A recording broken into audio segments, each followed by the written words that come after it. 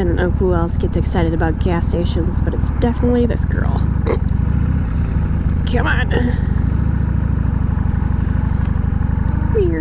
Okay, make up your mind, dude. Just because you have a big truck. I'll let you guys fill in the rest. I did have a Ford F-150 at one point, so there you go. You're welcome. Hopefully it's not too dark, but I'm riding out the last of the sunset.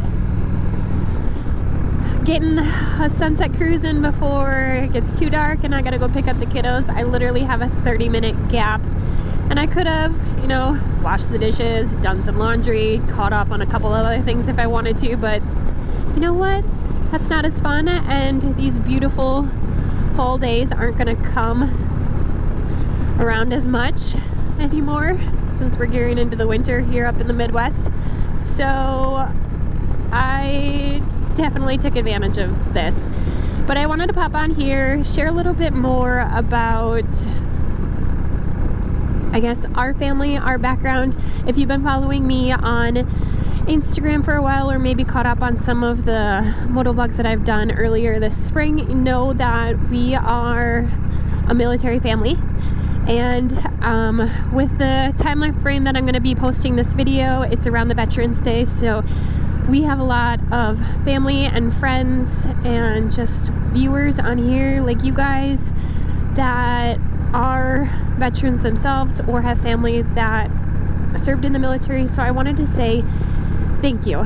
It, I don't want to get emotional because that's not how I want this video to go, but the military means a whole hell of a lot to myself, to my husband, coming from a military background himself, that both his mother and his father and a lot of his generations previous to them served in the military. So it means a whole heck of a lot to us. So I wanted to make this video just to share my appreciation for you guys because it's not an easy feat. And just as a military family it's not. We've been through one deployment before. It wasn't the most ideal because he went away for the training. We found out we were pregnant so I spent my whole entire pregnancy. I was actually I gave birth to our son two months early so I had a preemie baby and um, raised him for the first 10 months of his life by myself until he came back home. Um, he was actually deployed over in the Kuwait area for that full year. So it's not an easy job.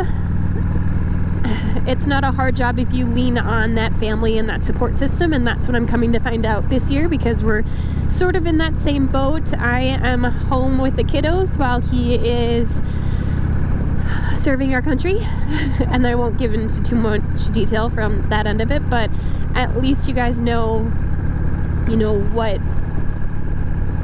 what we are right now.